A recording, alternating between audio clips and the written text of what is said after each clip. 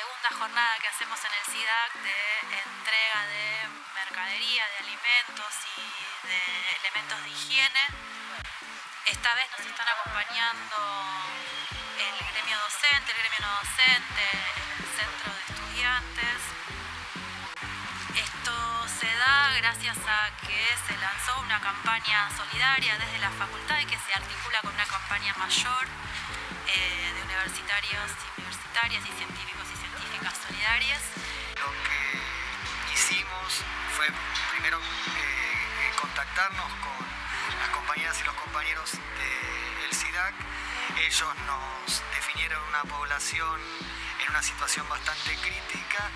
Eh, nosotros vinimos con mercadería, con productos de higiene este, y de cuidado personal y eh, con un equipo de psicólogos está el director nacional de eh, Salud Mental y Derechos Humanos de la Secretaría de Derechos Humanos de la Nación, también para hacer una contención de orden psicológica.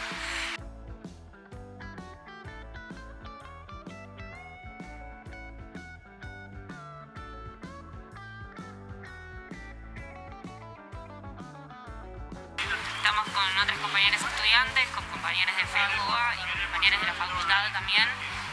entregando bolsones a las familias eh, que viven en el barrio, que están en una situación de necesidad. Eh, y creemos que es completamente necesario que la universidad articule en este momento más que nunca con el territorio y que se ponga en función de las necesidades del país en este momento que estamos viviendo.